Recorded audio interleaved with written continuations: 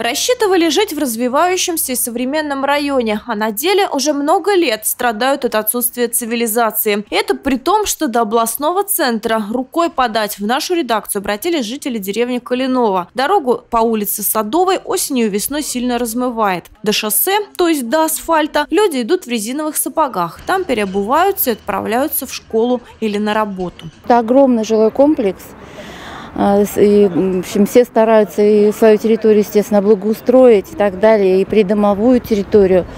Но и у всех ну, довольно хорошие, как говорится, и автомобили и так далее. Но а, получается так, что дороги ну, совершенно неподобающем состоянии, хотя это, конечно же, все стараются как могут, то есть какими-то своими строительными э, остатками закрывают эти ямы и так далее, но это, это все такие временные варианты, как говорится. Очень бы хотелось, чтобы на нас обратили внимание и как-то помогли нам с этим, решением с этой проблемы.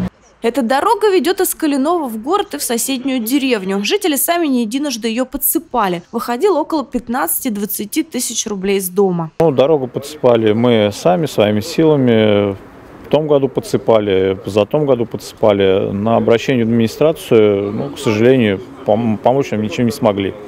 Вот, поэтому вынуждены были обратиться к вам за помощью. Вот.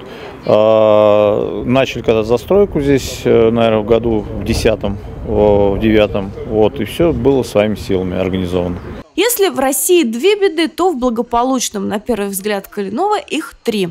Отсутствие дорог, фонарей и присутствие бродячих собак. У некоторых домов есть свои прожекторы, но полноценного освещения они не дают, особенно поздней осенью. Бесхозяйные четвероногие в сумраке чувствуют себя особенно вольготно, облаивают и атакуют. Супруга вечером детей забирает с секций, а, приходится им ходить по темной улице, по грязной улице, как вы это видели. Э, приходят домой каждый день грязные, э, боятся ходить по улице, потому что пробегают э, собаки дворовые, проходят незнакомые люди по улице. Как бы дети тоже переживают по этому поводу. Хождение по лужам в темноте скоро должно закончиться. У администрации Ивановского района есть для жителей Садовой хорошие новости.